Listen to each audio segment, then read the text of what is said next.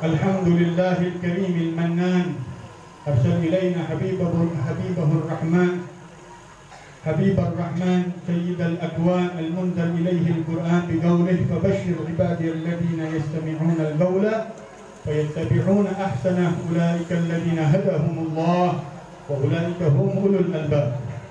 أشهد أن لا إله إلا الله وحده لا شريك له شهادة نرجى بها إلى أعلى اقتراب وأشهد أن سيدنا ونبينا وعظيمنا وقرة أعيننا ونور قلوبنا محمدا. عبده ورسوله سيد الأحباب. اللهم ألم صلواتك وأزكى تسليماتك على سيدنا وحبيبنا وشفيعنا. وقرة أعيننا ونور قلوبنا محمد نورك الساري ومددك الجاري. واجمعنا واجمعنا به في كل أتوارنا وعلى آله وصحبه يا نور أما بعد. Hadirin hadirat mobil khusus para habaib, para alim ulama, para tokoh masyarakat, para aparatur pemerintah.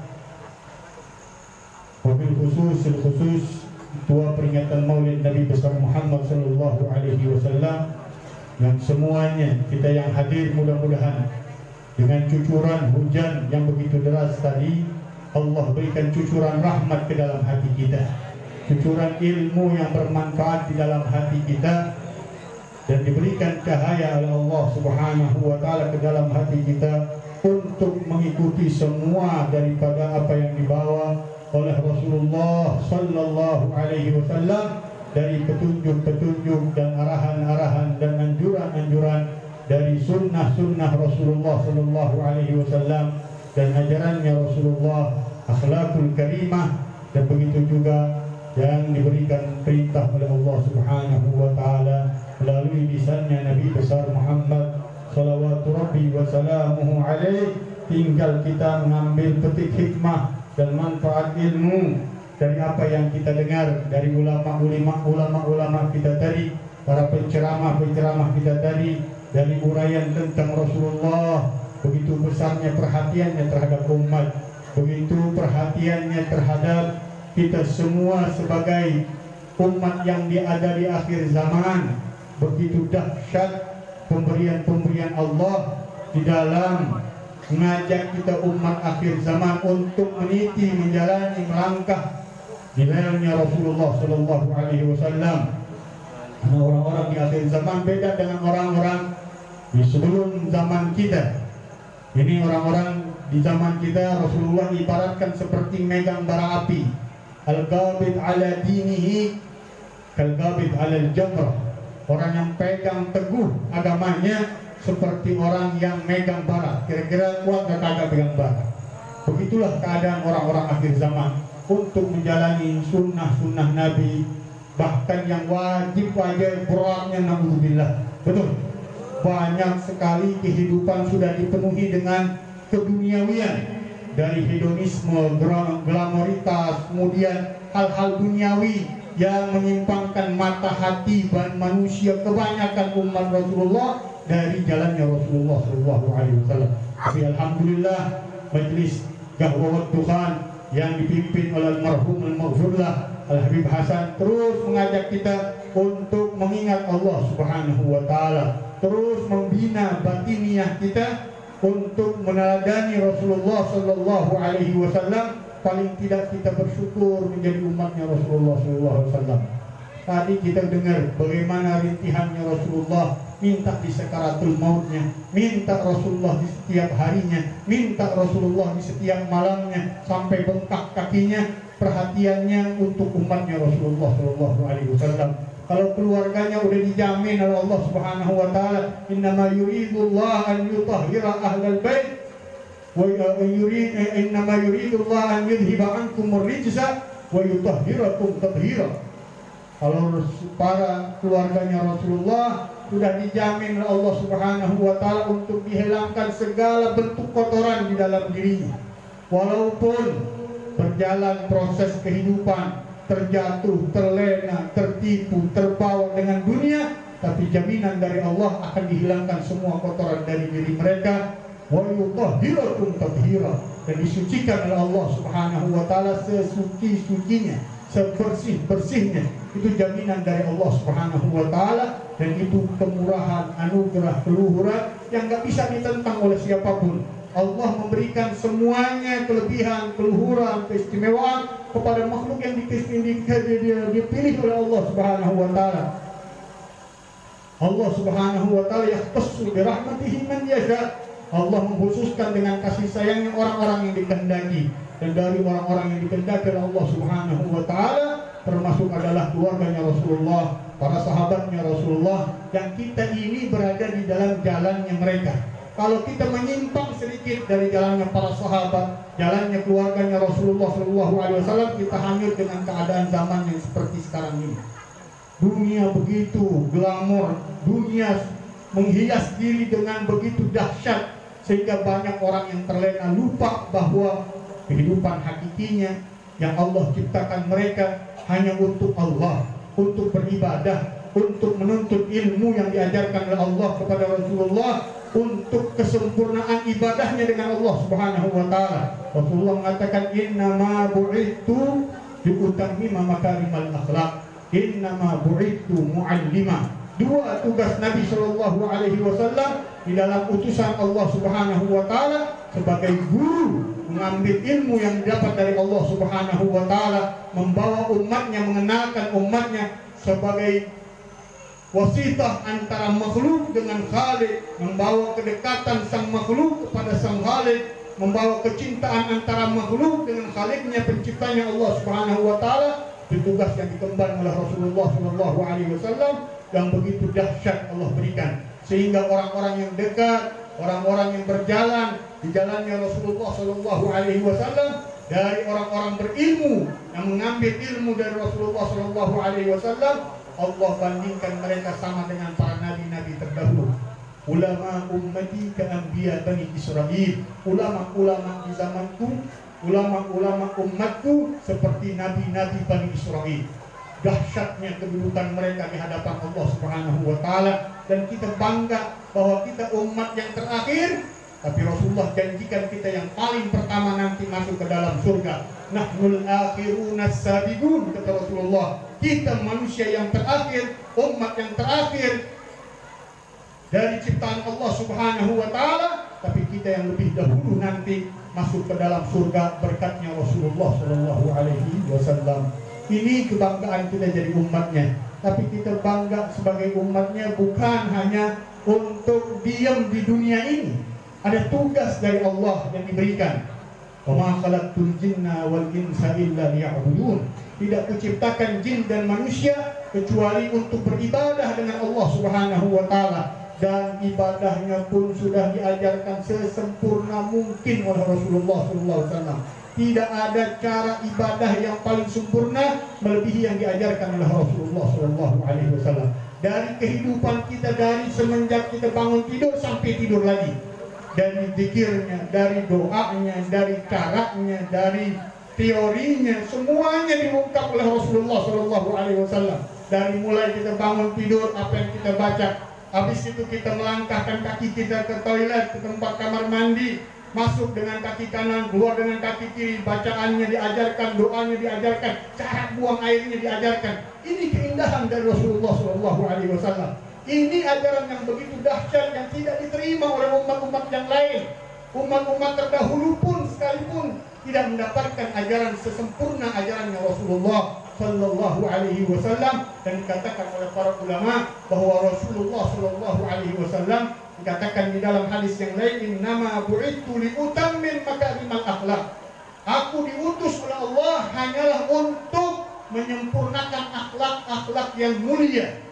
Akhlak adalah sifat-sifat hati sifat-sifat jiwa setiap manusia setelah dia beramal dia melakukan aktivitas yang diajarkan oleh Rasulullah dari amalan wajib, amalan sunnah terbersit di dalam hatinya, tertanam di dalam hatinya, terbentuk di dalam hatinya karakter sifat-sifat yang mulia.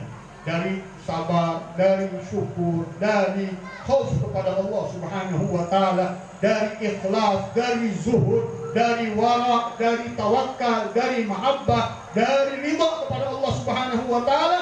Ini yang dikatakan dikatakan oleh para ulama dengan makna maqamatul iman, maqamatul yakin, kedudukan orang-orang yang punya iman di sisi Allah dari sifat kesabaran, bersabar melatih melawan hawa nafsunya untuk ibadah, menjalankan perintah, menjauhkan larangan Allah Subhanahu wa taala, itu perlu kesabaran. Orang mau bangun nanti malamnya habis acara seperti ini bangun subuh berat, bangun malam lebih berat lagi tapi perlu kesabaran dilatih. Diajarkan oleh Rasulullah Shallallahu Alaihi Wasallam bagaimana umatnya beribadah dengan Allah Subhanahu Wa Taala dari yang wajibnya, kemudian yang sunnahnya, kemudian dari ajaran-ajaran yang kecil-kecil, dari hal-hal yang ringan-ringan. Rasulullah Shallallahu Alaihi Wasallam ajarkan zikirnya. Dari mulai la ilaha illallah subhanallah alhamdulillah wa la ilaha illallah wallahu akbar kalimat thayyibat kalimat tamat tayyibat. Diajarkan oleh Rasulullah Shallallahu Alaihi Wasallam. Faedahnya la ilaha illallah faedahnya subhanallah faedahnya alhamdulillah alhamdulillah wa la ilaha illallah wallahu akbar istighfar kepada Allah Subhanahu wa taala diajarkan seluruhnya oleh Rasulullah tidak lain untuk membiasakan jiwa kita hati kita dengan akhlak yang ditanam oleh Rasulullah Shallallahu Alaihi Wasallam dari sifat sabar sifat syukur, rasa takut kepada Allah tumbuh. Rasa keinginan hanya Allah di dalam hatinya hilang keinginannya terhadap duniawinya. Kalau sekarang susah orang diajari untuk masuk cahaya Allah, dia nggak pernah mau berzikir, dia nggak pernah mau ibadah, dia nggak pernah ngikutin Nabi Shallallahu Alaihi Wasallam. Bagaimana akan terbias cahaya di dalam batiniahnya, tertanam, terdidik, terlatih, sedangkan dia melalaikan semua ajaran Rasulullah Shallallahu Alaihi Wasallam.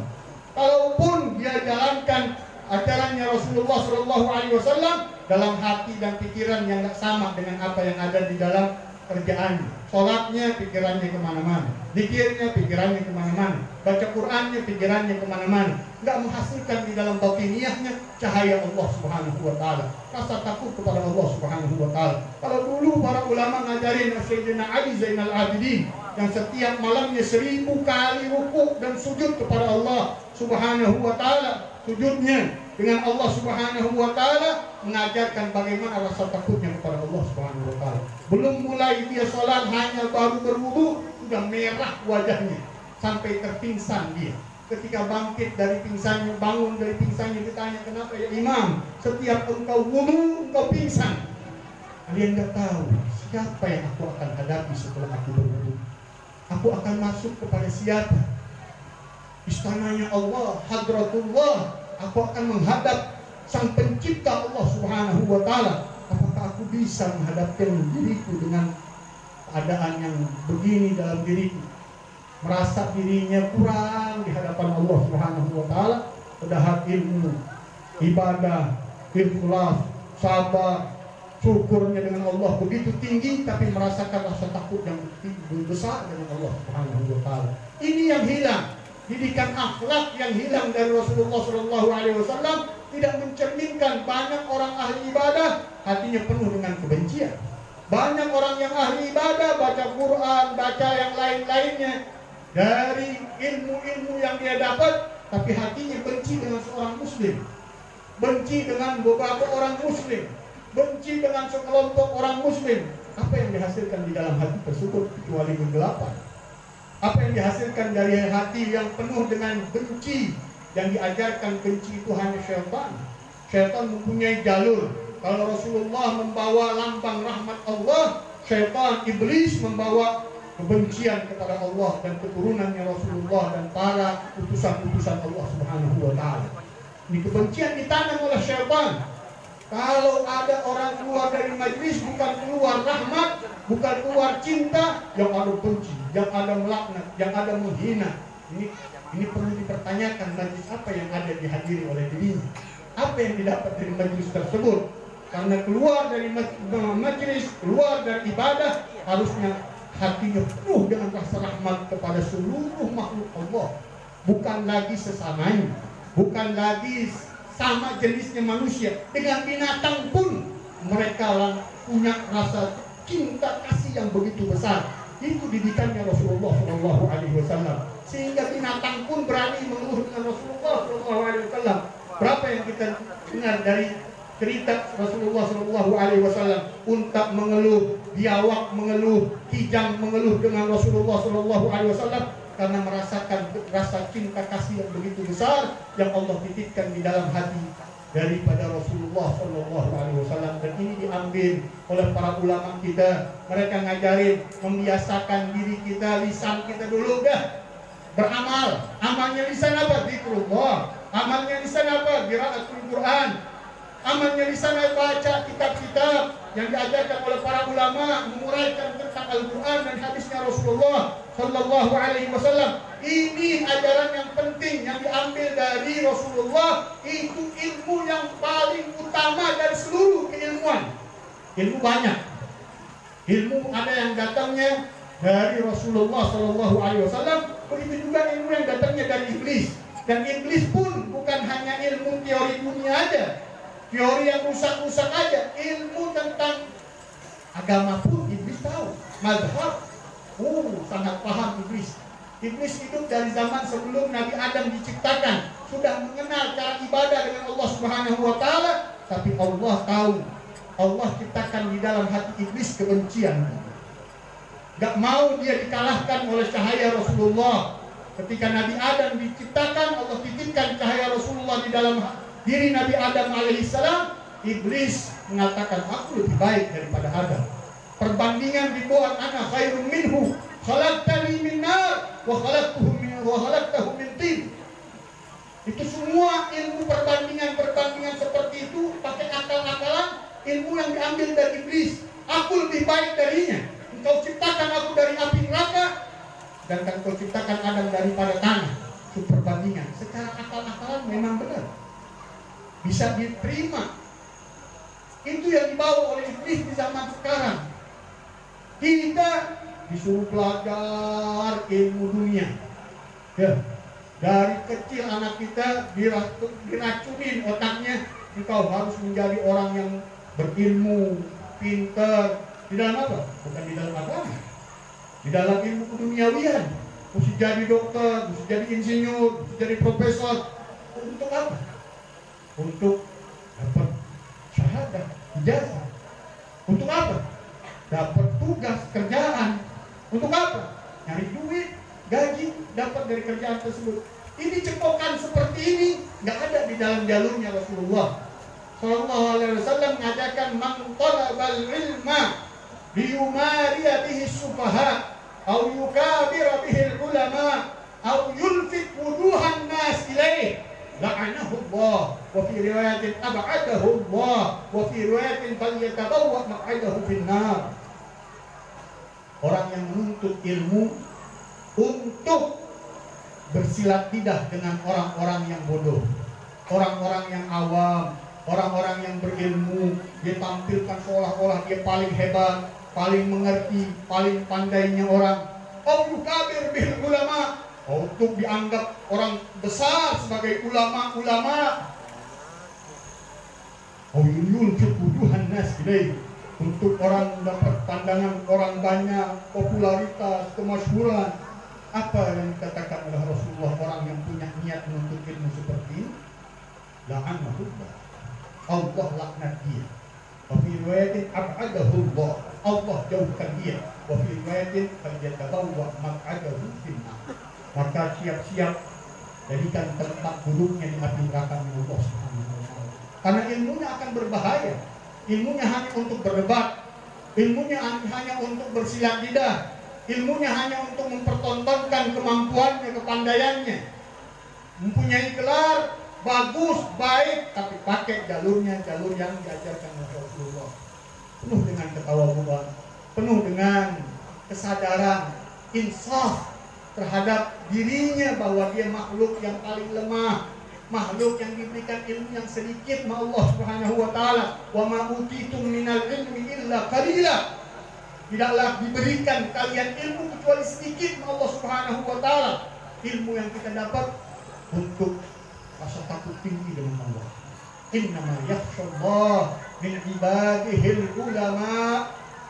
Hanyalah takut kepada Allah para orang-orang yang berilmu kalau ilmu tidak bawa rasa takut kepada Allah itu bukan ilmu kata Imam Al-Ghazali al-ilmu nafi walladhi yaziduka khawfan billah wa qurban ilallah ilmu yang bermanfaat adalah yang menambahkan rasa takutmu kepada Allah dan mendekatkan dirimu kepada Allah ini yang dibawa oleh Rasulullah SAW ini yang diajarkan oleh Rasulullah SAW. Bertambah ilmu seseorang, bertambah rasa takutnya dengan Allah Subhanahu Wa Taala. Man zada ilman walam yazdad hudan, lam yazdad min Allah illa bu'da. Orang yang bertambah ilmunya tapi, tapi tidak bertambah jalan petunjuk dirinya ke jalan Allah, maka tidak mendapatkan di sisi Allah hanya kejauhan, hanya laknat dan Allah. Berapa banyak sekarang orang punya ilmu ditakutin orang, dikhawatirin orang, menjadikan fitnah di umat, memecah belah di antara umat. Itu yang disyaratkan oleh Rasulullah Shallallahu Alaihi Wasallam. Inna min abghadikum wa ab'adikum minni majlisan yaumal qiyamah at-tartaruna al-mutasyaddiquna al-mutafayhibun. Orang yang paling ku benci sungguh orang yang paling aku benci kata Allah Subhanahu wa taala Orang yang paling dibenci dan yang paling jauh tempat duduknya nanti di hari kiamat dari dari dariku kata Rasulullah SAW at-tartarun orang yang banyak ngomong doang. Ngomong bisa, amal kagak. Bikinnya kagak, baca Qur'annya kagak, bangun malamnya kagak, duduk di dalam majelis zikir pun tidak. Kalau disuruh ngomong paling pandai dia, ilmunya hanya untuk ngomong doang, banyak bicara, banyak bersilat lidah, Tartarun Al-Mutasyabibun Mengangkat suara seolah-olah dia paling pandainya orang. Paling orang yang berilmu dia dengan keilmuannya. Membawa fitnah di dalam bahasanya. Membawa pecah belah di antara umat. Yang ini adalah ilmu yang dibawa oleh iblis Iblis laknatullah Rasulullah katakan inna syaitana kad aisa an ya'budahu al-musalluna fi jaziratil arab kana wala budda illa ma bainahum. Sungguhnya syaitan sudah nyerah, putus asa membuat orang-orang jaziratul Arab yang notabene mereka tempat keluarnya agama. Di situ Rasulullah dilahirkan, keluar sumber-sumber ilmu Iblis sudah nggak bisa lagi mengajak mereka untuk menyembah patung, menyembah berhala, menyembah matahari, menyembah api, nggak ada di Jaziratul Arab. Tapi kata Rasulullah SAW, kalaupun ada kemampuan iblis adalah memecah belah mereka. Tahris lima Lihat sekarang apa yang terjadi di negara Timur Tengah. Di mana-mana pecah belah antara madhab, pecah belah antara ta'ifah, sufiyah, pecah belah di antara organisasi, pecah belah di antara umat Rasulullah terjadi sampai tingkatan yang paling hancur-hancuran diperangi. Satu dengan yang lainnya memerangi. Apa yang diperangi?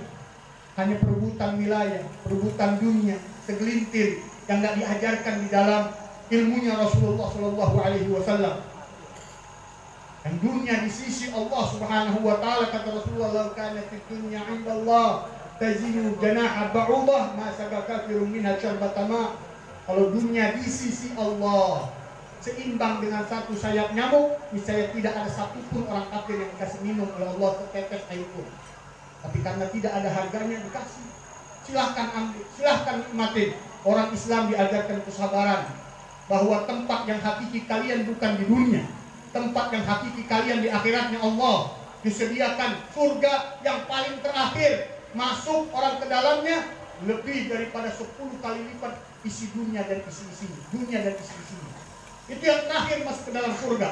Mempunyai kenikmatan yang luar biasa yang nggak bisa dibayangin nggak bisa dilihat nggak bisa nggak pernah dilihat nggak pernah terdengar. Malah ainun ra'at wala udunun sami'at wala khatara ala qalbi bashar. A'dattu ibadiyas salihin malah ainun ra'at wala udunun sami'at wala khatara ala qalbi bashar kusiapkan kepada hamba-hambaku yang saleh surga yang nggak pernah terlihat dengan mata, nggak pernah terdengar oleh telinga, nggak terbayang oleh pikiran manusia. Begitu dahsyat kenikmatannya. Itu tempat tujuan kalian. Itu tempat tujuan yang diajarkan oleh Rasulullah di dalam kehidupan kalian. Amat dunia siapa pun boleh. Inna Allah yu'ti dunya man yuhib wa man la yuhib. Wa la yu'ti dina illa man yuhib. Sungguhnya dunia ini dikasih sama Allah Subhanahu wa taala kepada orang yang disuka dan yang tidak disukai Allah. Yang disukai ya kaum salihin, kaum aulia, kaum garnabin, ya. Apa yang terjadi dalam diri mereka? Dunia datengin mereka ngerengek untuk jadi hambanya. Gak capek orang yang Islam, gak capek orang yang beriman, gak capek orang yang soleh. Dunia datengin mereka karena dia memperbudak, diperbudak oleh dunia. Tapi kita diubah kita di, diracunin oleh orang-orang di luar Islam, kita harus kejar dunia. Dari pagi pikiran kita dunia, dunia, dunia. Allah katakan di dalam hadis Rasulullah SAW, Man asbaha wa hammuhu dunya, ja'alallahu faqra baina ainaih. وشتت شمله وفرق وشتت الله شمله وفرق جمعه wala ya'tihi minad dunya illa ma lah. Orang yang bangun pagi pikirannya dunia, ambisinya dunia, ja'alallahu faqra baina ainihi. Allah jadikan kefakiran, kemiskinan, sifat fakir di dalam jiwanya di antara kedua bola matanya. Oh, takut jatuh miskin, takut jadi orang fakir. Dia hantam segalanya, yang halal, yang subhat, yang makruh, yang haram, diterjang melia. Kenapa? takut miskin di dalam pikirannya. Wasyattata syamlah. Allah cerai beraikan semua urusan-urusannya. Nggak ada yang berhasil, nggak ambil kacau semua urusannya dia. Wafarraqa jam'ah. Bahkan Allah urai semua yang sudah terkumpul. Yang ada di dirinya, yang udah dikumpulin capek-capek, Allah cerai beraikan, Allah hancurkan. Duit didapat banyak, sebentar habis sebentar hilang. Waliyahudillah jalannya kepada kemaksiatan, jalannya kepada kemurkaan Allah Subhanahu wa taala berapa banyak kita lihat. Orang yang dapetin dunia tapi dunia waliyahudillah memperbudak dia. Untuk makan aja diperbudak. Untuk syahwat kemaluannya diperbudak. Dihancurkan apa yang sudah didapat dari dunianya yang dikumpulkan. Kemudian walayati hidupnya indah mukuddirah tidak datang kepada dia dunia kecuali yang sudah ditentukan Allah Subhanahu wa taala. Tapi orang-orang yang saleh, hamba-hamba Allah Subhanahu wa taala, zikir dia setelah sembahyang subuhnya. Ibadah dia dengan Allah Subhanahu wa taala setelah subuhnya. Sembahyang dia isyak setelah subuhnya. Apa kata Rasulullah? Man asbaha wa hammul akhirah ja'alallahu bina fi qalbihi wa syamlah wa atahu dunya wa huwa radin wa Orang yang paginya pikirannya akhirat, udah siap-siap mau sholat subuh, siap-siap berzikir kepada Allah, siap-siap untuk ilmu, siap-siap sholat Allah, isyraq, duha, semua yang dibawa oleh Rasulullah dia praktekin semaksimal mungkin dia bisa. Ajaran Rasulullah dia pakai semaksimal mungkin dia bisa. Ja'alallahu bina Allah jadikan di dalam batinnya hatinya kekayaan. Walaupun nggak punya apa-apa orang dulu yang nggak mampunya aja hidupnya lebih dari orang kaya lebih dari pangeran lebih dari bahkan raja di raja Para raja pun kalah dengan dia. Kenapa katanya Ibrahim bin Adham cerita orang waliullah Ibrahim bin Adham yang sangat populer di umat Islam sangat terkenal mustajab dakwah orang yang kontan doanya dikabulin Allah Subhanahu wa taala. Dulunya seorang raja tapi dia nggak mendapatkan kenyamanan, dia nggak dapatkan ketenangan di dalam kehidupannya. Datang seorang dermis seorang saleh yang pakaiannya biasa-biasa bawa gembolan. Dia lihat ada istana di depannya, ada pohon yang rindang, dia duduk di bawah pohon yang rindang. Dia buka gembolannya, ada air putih dan roti. potong. Dia lihat dia pemandangan di depan di istana dengan pohonan yang hijau. Dia katakan di dalam bait syairnya, ma khubzun wa ma'un wa dhillu hadha an-na'imul ajal bihaqqi nikmat rabbi in qultu ana mukillu Ibrahim bin Adham niatin dari atas istananya ada seorang yang enak banget dia buka, dia nyender, dia makan itu rotinya dicelupin ke dalam air setelah kenyang dia tidur dia bergumam itu dengan perkataannya Ibrahim bin Adham kepada para penjaganya bawa itu orang ke dalam. Dibawa ketakutan ini orang dibawa ke dalam untuk bertemu dengan Ibrahim bin Adham sebagai raja dahulunya ditanya oleh raja tersebut apa yang kau katakan tadi? Ku dengar kau bergumam ketika engkau duduk di dalam istanaku di bawah pohon yang rindang. Ya Tuhan aku nggak bawa apa-apa. Aku hanya bawa roti dan air. Hanya aku mengatakan air, roti, dan pelindungan pohon pohon yang rindang ini sebagai perlindunganku. Ma'un wa khubzun wa air putih, khubzun roti, wa naungan pohon. Hadan na'imun ajallu. Ini semua nikmat yang besar. Jahatku nikmat Rabbi, aku ingkari nikmatnya Tuhanku. In qultu ana mukillu kalau aku mengatakan aku dapat sedikit dari kenikmatannya. Kaget. Sayyidina Ibrahim bin Adham dengan perkataannya. Itu bilang, air, roti, terus kita tidur di bawah pohon, udah kenikmatan yang begitu besar. Sedangkan aku dengan istana yang mewah, makanan yang begitu berlimpah, aku tidak mendapatkan ketenangan seperti engkau. Tidak mendapatkan kenyamanan jiwa seperti engkau. Akhirnya kata Ibrahim, kata si Darwis ini, seorang wali Allah, kalau boleh aku berbicara dua mata dengan engkau keluarkan semua daripada orang-orang yang ada di sekitarnya. Ayat dikeluarin oleh Ibrahim Adham diajari tasawuf. Diajarin dengan beliau hikmah yang sangat ringan. Wahai Ibrahim, kalau seandainya engkau dikasih seteguk air oleh Allah, kemudian engkau minum segelas air, engkau minum itu air ketika engkau minum tersedak engkau punya minuman tersebut nggak bisa keluar dari perutmu apakah engkau akan bayar dengan setengah daripada kerajaan. Itu kata Ibrahim bin Adham kalau nggak bisa keluar dan aku akan binasa akan mati karena aku akan bayar dengan setengah. Setelah engkau mendapatkan minuman tadi sebelumnya kau mendapatkan minuman sebelum kau mendapatkan minuman kau dalam keadaan haus dan kau harus beli air minum tersebut dengan setengah dari kerajaan. Apakah kau beli minuman tersebut? Kalau aku akan mati dengan setengah dengan minuman yang harus minum dari rasa haus aku akan beli dengan setengah kerajaan. Katakan uffin uffin di dunia la yusawi syarbah wala baulah ini seorang soleh mengatakan ini dunia gak sesuai hartanya cuma seteguk air dan kencing. Seteguk air kencing. Itu jual itu semua istana. Itu yang kau bangga-banggain dari istana dari kerajaan. Akhirnya diajak berdialog untuk keluar dari istananya. Ikut dengan dia merantau. Menjadi hamba Allah Subhanahu wa taala. Menjadi orang-orang sufi besar.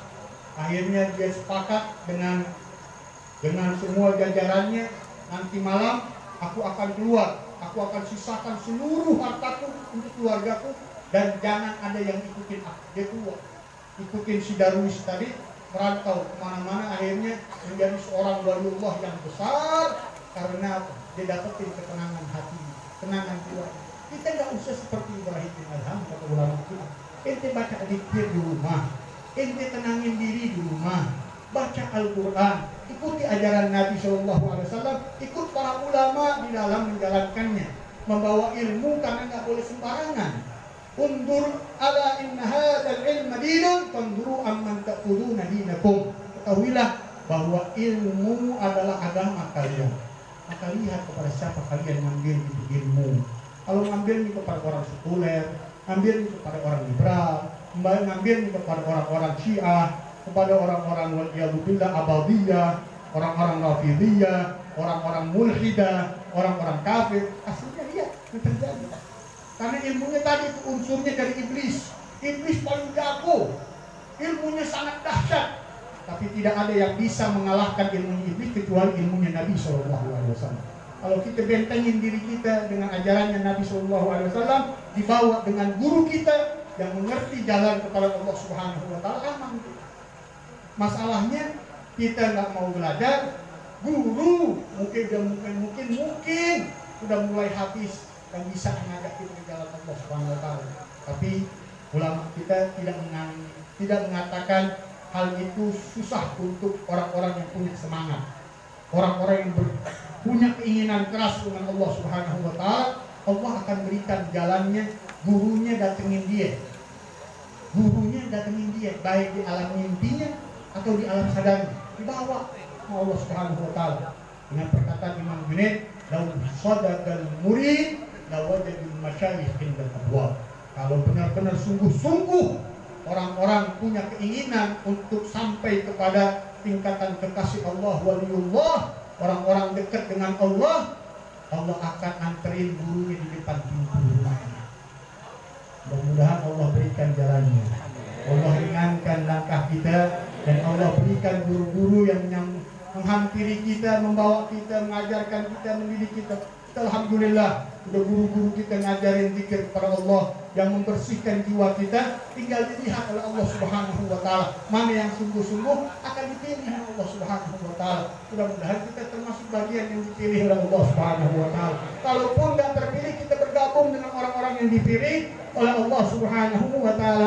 Amin. Ya rabbal alamin. Allahumma bina bihudak واجعلنا ممن يسارع في رضاك.